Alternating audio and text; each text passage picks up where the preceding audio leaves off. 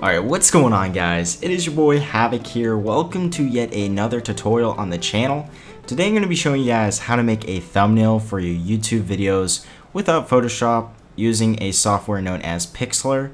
Now this was suggested by quite a few of you guys. If you do have any tutorials that you would like to see next, just let me know down in the comments and I'll be sure to take a look. If this video does help you out, a like will be very much appreciated. Um, you guys, your recent support has been overwhelming, so I just want to thank you guys for that. And uh, yeah, let's get straight into it. So the first thing that you're going to want to do is click on the first link in the description, and that will take you to this page right here. And we're going to click on create a new image. And on the presets, we're going to make this the movie 720p and click on transparent, click OK. Just as a helpful tip, just to start out, to zoom in and zoom out on this program, you want to click and hold the Alt button and scroll in and out with your mouse. And that will just help you throughout this tutorial. But the first thing that we're going to do is we're going to Google grunge backgrounds. And basically this just gives you a ton of backgrounds that I feel like will make your thumbnail look pretty good. Once you find one that you like, just click on it, click view image, and then just drag it onto your desktop.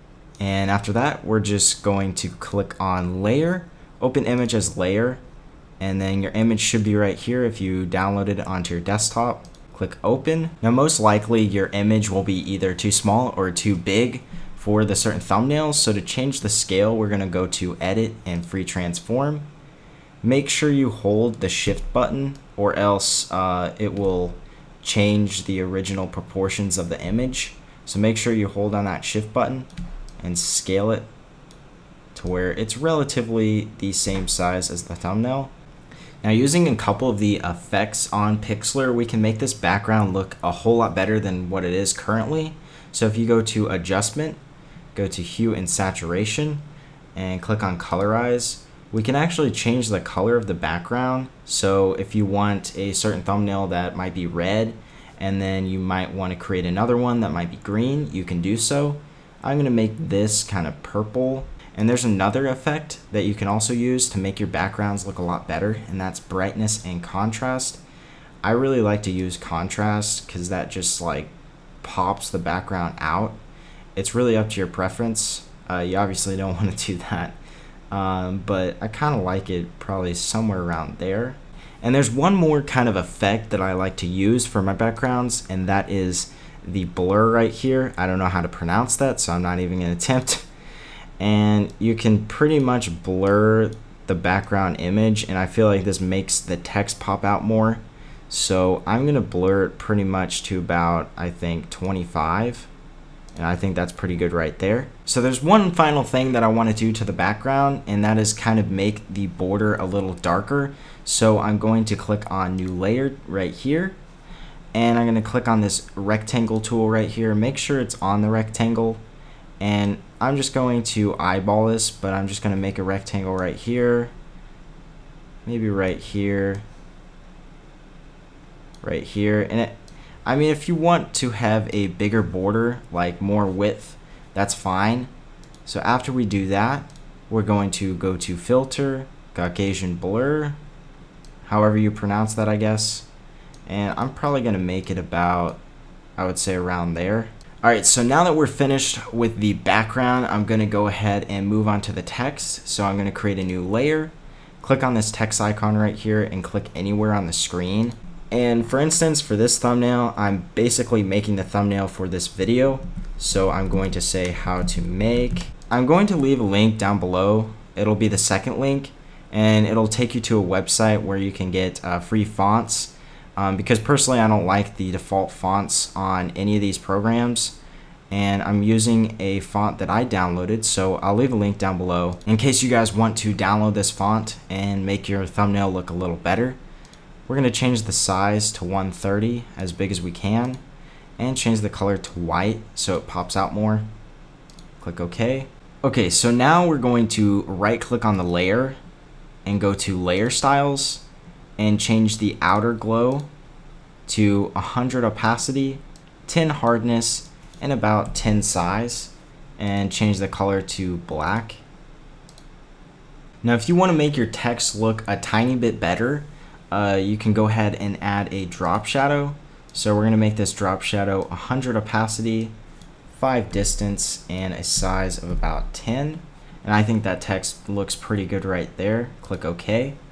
And we can go ahead and duplicate the layer, drag that down to here, and click on the text icon to change the text.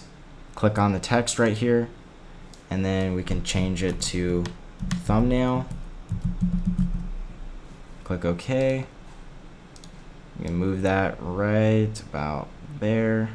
And we're going to go ahead and duplicate the layer one last time and move it down a little so we can actually see. Click on the text icon, actually click on the text and change it to for free exclamation point. We're going to change the font to Blowbrush. Um, that's another font that I will put and that will be the third link in the description for you guys to download and install. And if you want to change the color like I am right now, just click on this color icon and you can actually move this a little further down to different parts of the color spectrum and go ahead and move this central uh, circle down to where it is actually purple and there it is. You can see what it what it actually looks like but we I mean as you can see you can change it to whatever color you really want. So now that we have the text and it's not necessarily centered um, as you can see the text isn't big enough and I've had this problem multiple times but I've actually fixed it um, because as you as you may have noticed um, this is the biggest size that you can put the font but you can actually make it bigger through a certain method. So I'm going to go to uh, whatever layer text you want to make bigger, right click, go to rasterize layer, and you can go to free transform. And basically you can make sure you're holding shift, but you can make the text a little bigger. So I'm going to go ahead and make it just about right there. Click OK. We're going to move it a tiny bit further up, right, right about there and do the same thing for every single layer. Make it relatively the same size for both of these. And center as well. And last but not least this last layer.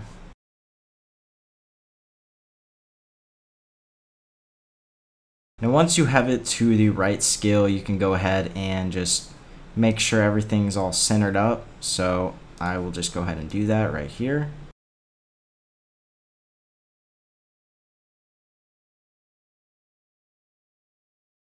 One last touch up that I want to do to this thumbnail is I'm going to go back to Google and search up grunge sunburst background black and white and I found this one right here.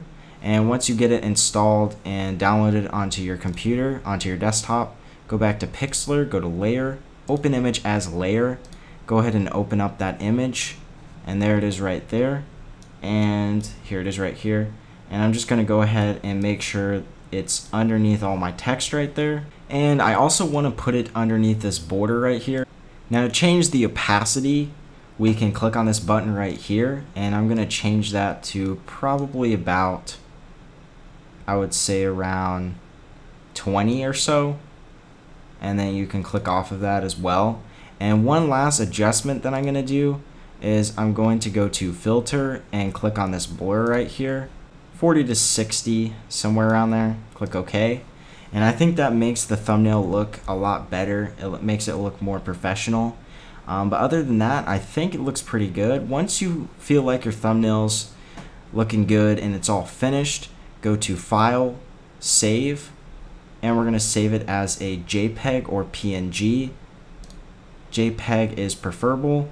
We're going to up the quality all the way to 100 and you can change the name if you want so I'm gonna name it thumbnail. Click OK. And make sure it's on your desktop or wherever uh, you want to put it. Click save. And there it is. It should be on your desktop. There it is right here. And you can go ahead and open it up and it looks pretty good to me. And I hope you guys did enjoy the tutorial. If you did be sure to drop a like and also be sure to subscribe for future tutorials. And just let me know what tutorials you would like to see next. It's been your boy Havoc here, and I'm out. Peace.